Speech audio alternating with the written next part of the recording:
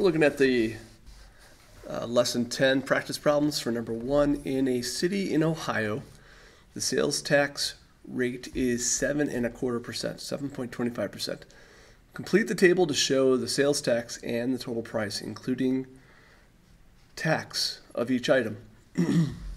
so when we do this, we're going to do, um, make my thing smaller here. You guys got, all right, so we're gonna, we're gonna basically do, for this, we're gonna do seven point two five percent times eight, eight dollars. But we gotta change that to a decimal. And then you're gonna multiply that by eight. You're gonna multiply that by eight. All right, now I'm not gonna do that for every one of them, but I think that comes out to um, 58 cents. And so if you add that to $8, you get $8.58.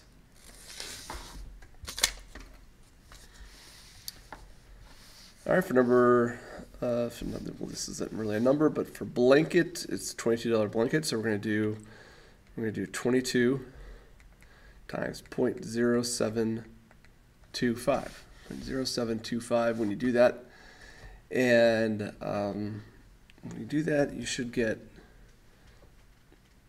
um, you're going to get 1.595. And the thing you have to keep in mind here about dollar amounts is that you want to keep, you know, you want to keep it down to dollars and cents. We don't really need this place value, right? That is not really going to help us, but uh, that place value is going to help us round it. So uh, that 9 is going to turn into a 10, which, you know, makes a 60. So the tax is going to be a dollar sixty. And then easily add that on to $22 and you get $23 and 60 cents.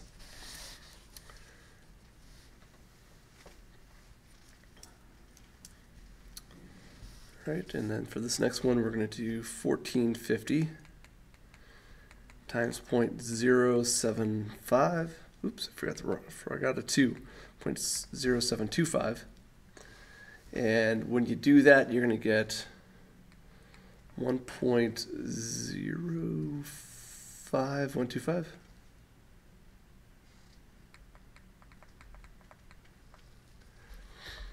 All right, so you're going to get that, and then we round that number, and that's next to a 1, so that 5 is going to stay put. It's going to stay what it is. It's going to be $1.05 for um, the tax. And so that's just going to be 1555.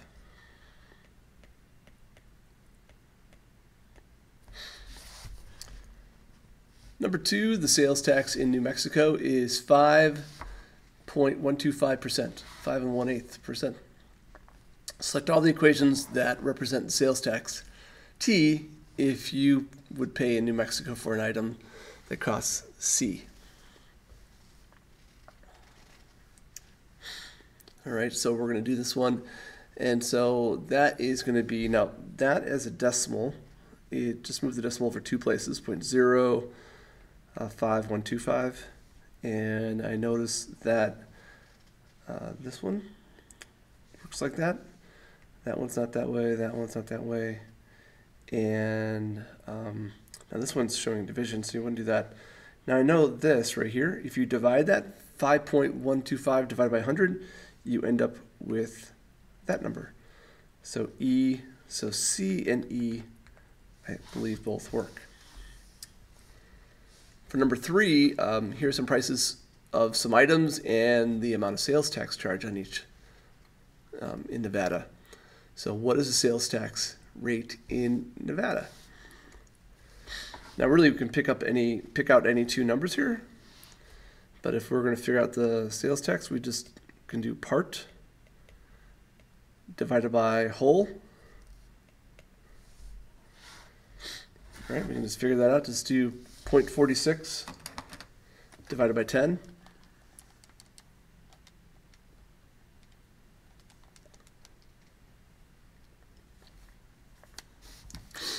All right, and then you multiply that by 100, and you get 4.6%. And you can do that to any, any two numbers. You can do 2.30 divided by 50 and times that by 100, and you're going to get 4.6 again, 4.6%. So write an expression for the amount of sales tax charged in dollars on an item that costs C dollars. Well, we're just going to do 4.6% times C. But we don't want to leave that in percent form. We're going to change that to decimal equivalent. And then you're going to make that C right there.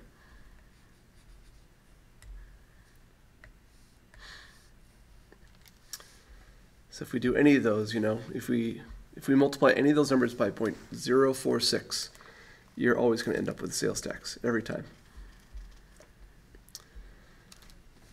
All right, find each amount. All right, we're just going to multiply here. We're just going to do 0.038 times 25. You're going to do that. It's 0.038 times 25. And 0.0.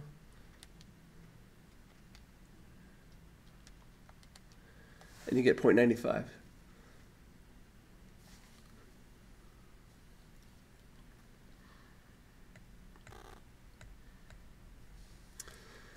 All right, for this one, we're going to move the decimal over 2.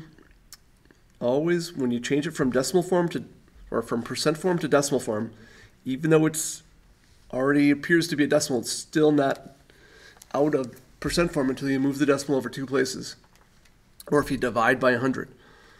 So we're going to move it over two places, and you're going to multiply that by 50. All right, and so then that becomes 0.1. Now these are really small numbers, but it's also good to keep in mind that these are small percents. So 0.1. Now this is a larger percent. So we're going to change that to 1.805 times 99. And you're going to get 178.698. And we don't necessarily have to round it.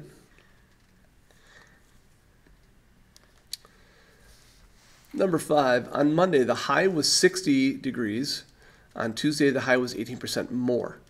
So how much did the high increase from Monday to Tuesday? So this is a percent of increase, so we're going to add we're going to add 100% plus 18%, which is 118% and then convert that into decimal form, which is 1.18. And that's it. So you're just going to do 60 times 1.18, and that's how, that'll tell you what the temperature is. 60 times 1.18, and you get 70.8.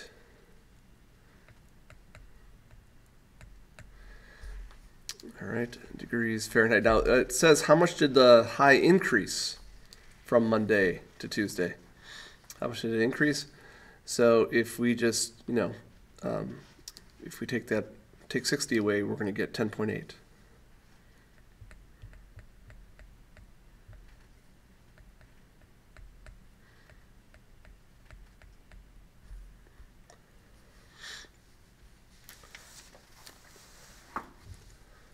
All right, for number six, for the last one here, it's complete the table and explain or show your reasoning. Now we've got a radius and we've got circumference. Now circumference, you might know that we commonly use pi times diameter, but you don't always have to use that. You can, um, circumference is also equal to 2 pi r. 2 times radius, because 2 times radius is going to equal the diameter. So we're just going to do that. We're just going to do, for this one, we're going to do 2.8 all right, times 2, all right, because that's times the radius. Uh, so 2 pi r, and then you're going to multiply that by 3.14.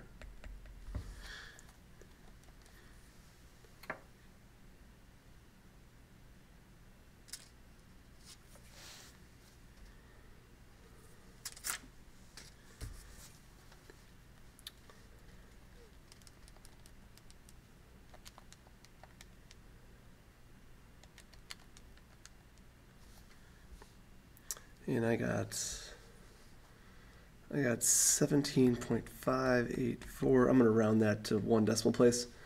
So that is gonna be about seventeen point six.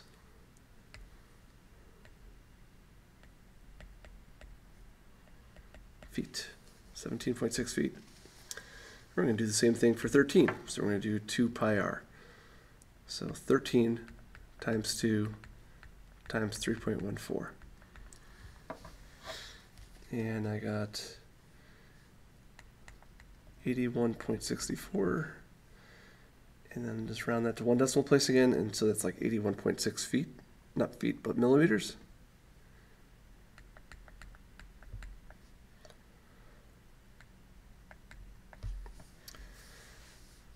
Okay, now in this one, we're gonna go, we're gonna go backwards.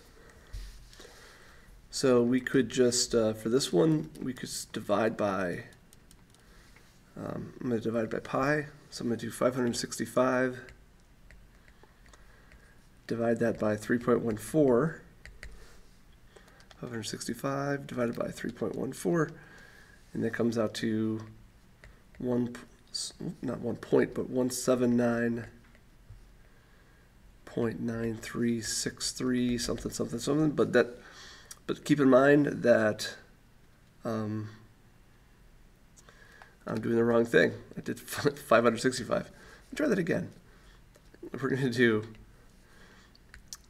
fifty-six point five divided by three point fourteen. So fifty-six, thought something sounded kind of weird about that one. Fifty-six point five divided by three point one four. And you get seventeen point nine nine three six three zero. All right, but the thing I was going to say was that this is the diameter. Dividing by pi only gives you the diameter, so the radius is half the diameter. So if we divide that by two, I'm just going to keep that in my calculator. Divide that by two, I get 8.9968. That's about eight. So I'm going to put, or not about eight, but that's about nine. That's centimeters. So nine centimeters. All right, we're going to do the same thing with 75.4. So we're going to do 75.4 divided by pi. All right.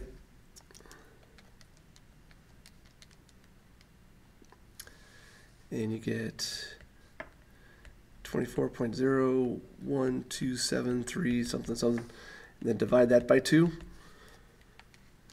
And you're going to get basically 12, right? That's it. That's all we're going to we're to put. So that's 12 inches.